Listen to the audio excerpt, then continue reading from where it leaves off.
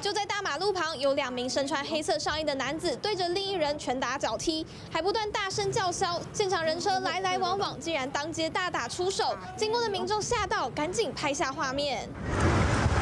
九号晚间六点二十二分，基隆仁爱区爱二路上发生街头暴力事件。当时谢姓被害人为了和陈姓男子追讨三万元的债务，两人相约见面。陈姓男子带着友人到场，双方却发生口角。没想到陈姓男子和友人竟然持西瓜刀攻击债主，吓得被害人赶紧用手握住刀阻挡，造成右手五到六公分的刀伤。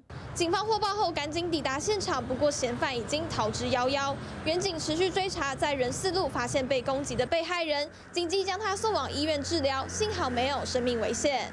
扩大调阅周边监视器画面，警方于一个小时内火速将三名犯嫌缉捕到案，讯毙后以伤害罪移送法办。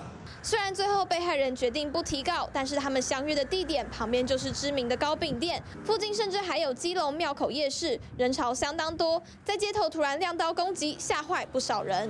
TVB 新闻刘新奎、陈家彤基隆采访报道。想看最完整的新闻内容，记得下载 TVBS 新闻网 APP。